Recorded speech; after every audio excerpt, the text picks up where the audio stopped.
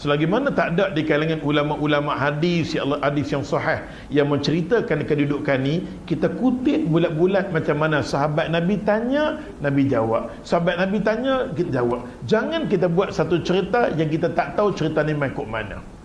Macam Sa'labah. Sa'labah satu cerita yang paling famous. Dia mai dekat Nabi, "Ya Rasulullah, aku miskin lah ya Rasulullah. Nak makan pun tak ada." Ni drama nak ulang balik. Ada faham? Dia dia mengadu kat Nabi aku miskin Rasulullah tak ada apa pun. Ya doalah kat aku Rasulullah. Doa dia mengadu kat Nabi Allah, mengadu kat Nabi. Nah dia minta sesuatu kat Nabi last sekali yang kita kita dengar cerita Sa'labah ni. Nabi bagi dia ekor kambing kat dia. Sepasang Nabi.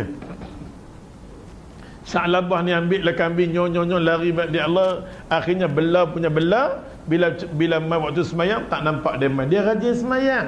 Masa sebelum dia dapat lagi. Masa dia dapat ekor kambing tu tengok-tengok semayang pun tak main dah. Ayo yo apa dah jadi? Semayang pun tak main dah. Semayang pun tak main zakat pun tak keluar yang tu yang ni dia menjadi golongan yang derhaka kepada Allah Ta'ala. Yang kata sa'labah persoalannya ulama tanya cerita ni betul ke tak betul Kok mana buat main cerita ni?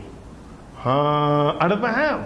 Kok mana main cerita ni? Pasal Sa'labah kalau ikut apa nama tafsir uh, kalau ikut apa uh, pendapat daripada Ibnu Katsir daripada kitab Bidayah wa Nihayah kitab Bidayah wa Nihayah disebut Sa'labah ni kategori ahlu badrin dia ni ahlu surga Allah Taala dia terlibat dalam peperangan Badar mana-mana sahabat Nabi yang terlibat dalam peperangan Badar bagi dia syurga ya Allah. Orang ni syurga Allah Taala.